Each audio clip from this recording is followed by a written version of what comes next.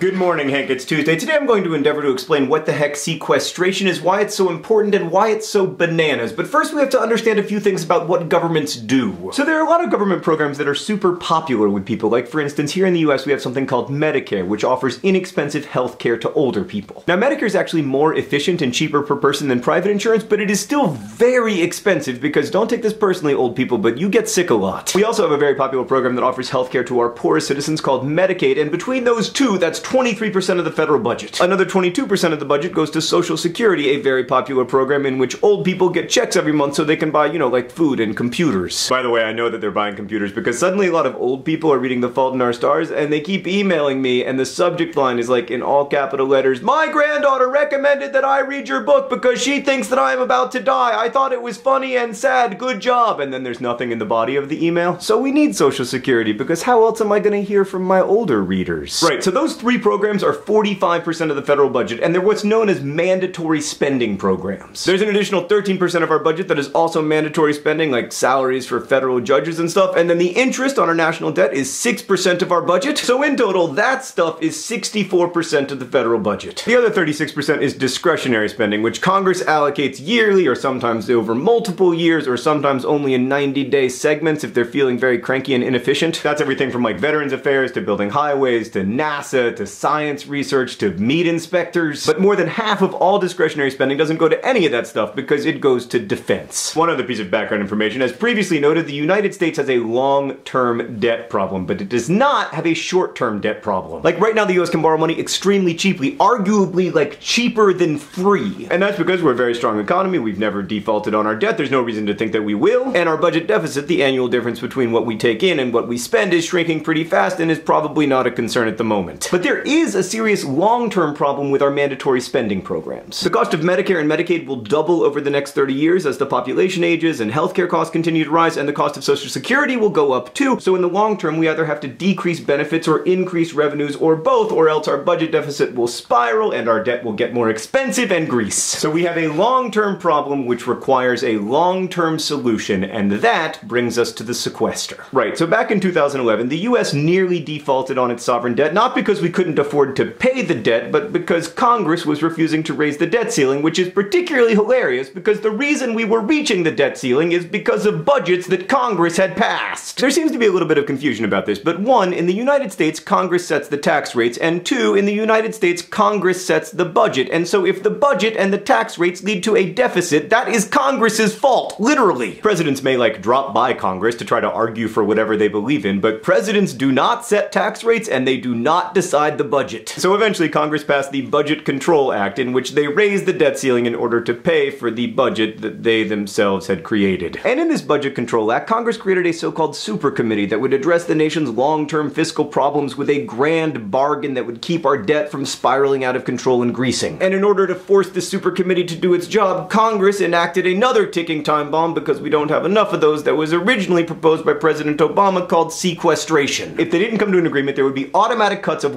$1.2 trillion over 10 years, half cuts to defense and half cuts to other spending, but vitally, very little cuts to the mandatory spending programs that are the center of the long-term fiscal problem. Which is such an incredibly bad idea that the assumption was they would find a way to compromise, but yet no. It's like if a doctor told you you had a slow-growing tumor in your fingernail and you responded by saying, Quick, remove my gallbladder! Right, so the reason that sequestration is so bananas is not because of the cuts themselves, it's because they're indiscriminate. Every project, program, and activity of the United States federal government has to be cut by the exact same percentages except for those mandatory spending programs that are mostly exempt. So basically, everything the government currently does, it has to do about 8% less of. That doesn't sound that bad, but because it's every project, program, and activity, it gets super bananas. For instance, something sort of like this happened in 1991 with a 5% sequestration, and federal employees were literally instructed to scrape 5% less bird poop off buoys in Chesapeake Bay because that is a project, program, or activity of the federal government. So instead of making a choice about which federal programs we can afford to get rid of, we're just gonna scrape 8% less poop off of all of the buoys. That is bananas. It's gonna cost between half a million and two million jobs, and instead of getting rid of jobs because they're outdated or unnecessary, it basically just throws a dart at a dartboard. And more importantly, sequestration doesn't just create problems, it also fails to solve problems because it does absolutely nothing to address the long-term fiscal problem in the US. Because mandatory spending on Medicare, Medicaid, and Social Security is going to continue to grow at pretty much the exact same pace. So essentially, Hank, Congress saw a long-term problem which they responded to by creating a short-term crisis which they then failed to solve. These days, the conversation on the news channels tends to be about whose terrible idea this was, with congressional Republicans being like, this was President Obama's idea, and President Obama being like, I'm sorry, do I create and pass legislation in this country? But Hank, this whole business about only discussing who's to blame distracts from the larger issue, which is that the sequestration is a disaster. It's inefficient and bureaucratic and everything that people don't like about government, and it does nothing to make our economy healthier. So to summarize, the sequester creates an unnecessary catastrophe without addressing the larger future catastrophe. It is an embarrassment. Frankly, Hank, it is more embarrassing than our continued minting of pennies, and that's saying something.